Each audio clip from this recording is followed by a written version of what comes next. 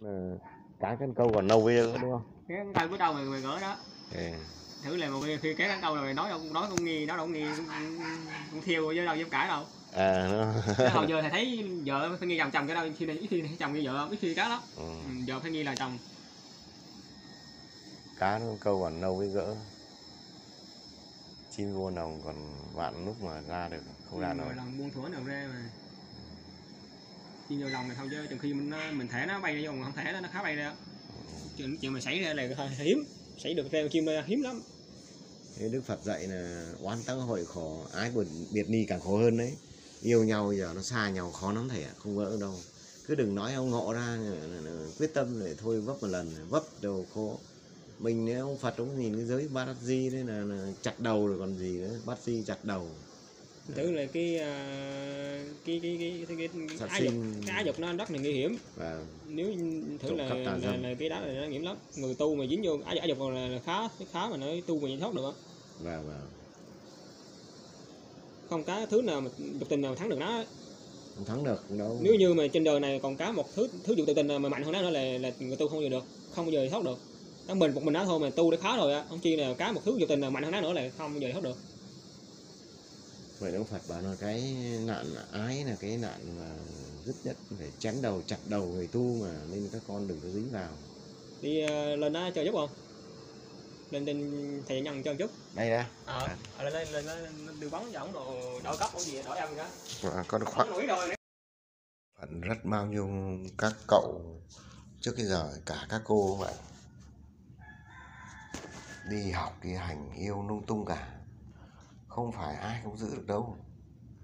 Vậy nên là toàn xin tiền của gia đình đi, xong ban đầu là nói dối là đi đóng học với học thêm với mua sách, mua sáo nhưng mà gồng ra quán cà phê. Cái thời đại của 9x ấy 8x ấy 7x trở đi, còn 6x như bọn mình như là, hay là 5x như bọn mình là không còn nữa. Còn đến 6x à 7x 8x 9x 10x đấy là sinh năm 20 giờ đi là hầu như là bị dục nạp cái gian nó chém hết. Bao nhiêu người khổ lắm hỏi đủ thứ. Nếu những người tu có duyên tu vào đạo đức làm người theo- pháp của của, của, của nguyên thủy gốc ấy của thầy thông lạc ấy, đều bị mắc nhắc hết lại hỏi han đủ thứ. Về sau là tự họ khai ra chứ đâu có mình có hỏi con vấp thế này con vấp thế kia. Có chú ở bình dương ấy, ấy, ở gì đắk nông đấy năm nào bị chết cái chuyện cậu đấy. Mới hỏi mình mấy tháng trước ấy, cái bốc với nhau đầu đầu này. Con bây giờ con không chịu được cái cái ái dục cái tình dục. Bây giờ con phải đi kiếm cho nó chán rồi còn mới vào thất. Con muốn đi tu con không lấy vợ đâu. Bao nhiêu bạn ở trên đấy phục lắm. đấy thế tự nhiên từ từ máu chảy ra đầy chụp ảnh nên quay camera gia đình, quay cái tung lên mạng. Tự tử không biết là cái gì. Bảo, con ơi, chớ vào. Động mãi dục khổ lắm. Khi dâm dục mà nó đã vào rồi, nó thành quen mà nhớ, không thể dứt được đâu. Các cụ dạy rồi. Kim đâm vào thịt thì đau mà thịt đâm vào thịt nhớ nhau suốt đời, không thể dạy được. Vậy nên là đức phật mới dạy câu này ông sinh ra từ đâu? Ông đến đây để làm gì? Và chết ông thì về đâu? Phải sinh ra từ nhân quả, đến đây nạp nhân quả vào. Là vì cái môi trường sống của thời đại xã hội bây giờ nó toàn nhân quả thôi, toàn nghiệp ác thôi. Toàn hưởng dục thế gian là tiền bạc, danh vọng, sắc dục, ăn và ngủ. Và chết ông phải trả về với nhân quả. Mọi nhìn nên là con người ờ, xuất phát từ thân khẩu ý. Cái 10 điều lành không được, thân có ba điều không sát sinh, trộm cắp tà dâm. Khẩu có bốn điều không nói dối, nói theo dệt, nói lời vọng ngữ và nói lời ác. Ý không tham, không sân, không si. Chỉ cần tu 10 điều lành ấy thôi là hết khổ. Nhưng mấy khai tu được cái 10 điều lành đâu. Cái nghiệp khẩu nó nặng lắm. Vậy nên là tại sao là, là, là, là, là con người nó sinh tham là tham ở cái đấy?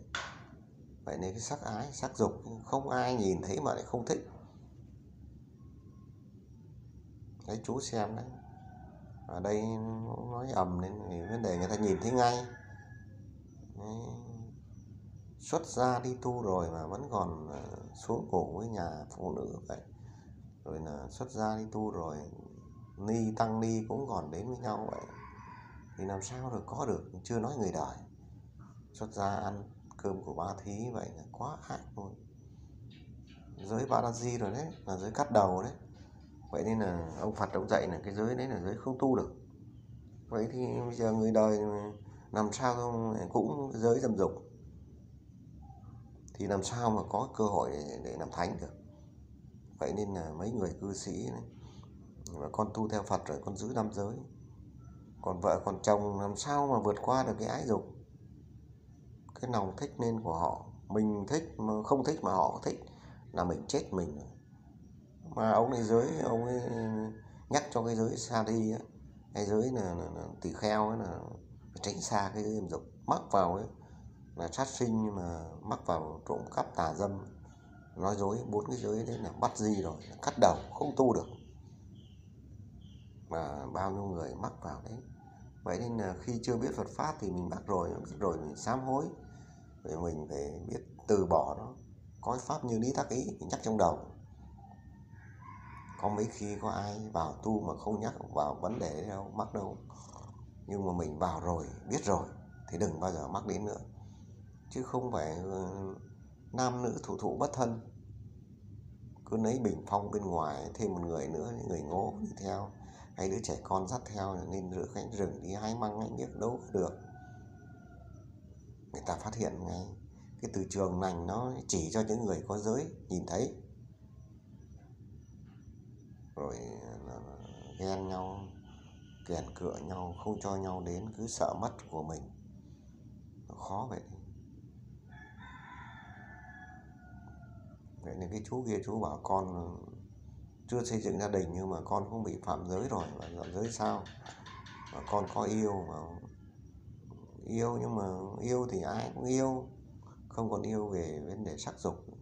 Con vi phạm nhiều lần rồi yêu nhau 5 năm rồi. Đấy, bây giờ làm khổ người ta nó cũng chưa lấy chồng nhưng khổ người ta không yêu được. Vậy mà giới trẻ như vậy. Con bây giờ phải sửa đi. Nó quen thói rồi sửa nó đi. Phùng pháp như thế tác ý mình ngộ muốn đi tu mà bố mẹ chưa cho đi, nhưng mà bây giờ mỗi lần nó nhớ đến giấc mơ hoặc là tự nhiên mình ngồi mình nhớ đến người ta là mình phải nhắc, phải sám hối, phải chảy ra nước mắt, máu mắt ra. Người ta lại không biết đạo nữa. Người ta vẫn nhớ đến mình. Để biết đạo thì người ta dùng tác ý là chắc nhắc đi thì mình còn đỡ. Con thông qua người khác mà con muốn vào học, có bài, có lớp xong rồi con xuất ra xuất ra làm sao được? Đức Phật dạy là chưa thấu đạt ăn trái cây rụng chớ vào rừng. Thấu đạt là ăn cái trái cây ở rừng này, này nó rụng xuống. Đấy như lần trước mình ăn cái cái củ từ rừng ấy, nó giống y củ từ nông của quê mình ngoài đời ngoài bắc. Nhưng mà củ từ của mình ăn là nó trắng cái này nó vàng mình nó. Tại sao những con sóc này không ăn? Thử ăn tí ăn có hai nát nhỏ nhỏ vậy thế mà nôn sốt suốt đêm này cậu biết này. nôn hết sạch hai ba lần, đêm tắc ý mãi, thôi chết cũng được, thử nghiệm. Thế hôm sau nó thôi. Thì mình bảo đòi cho đi viện. Vậy nên là phải tập. Vào rừng nó không có gì ăn hái rau, phải tập tập tập tập. Tập nó quen. Thấy con khỉ nó ăn cái gì thì mình ăn cái đấy những cái cơ thể con khỉ nó chống được chứ mình có thể không chống được. Nhưng mà nó ăn là nó không đọc đâu mình tập. Trong tu hành cũng vậy.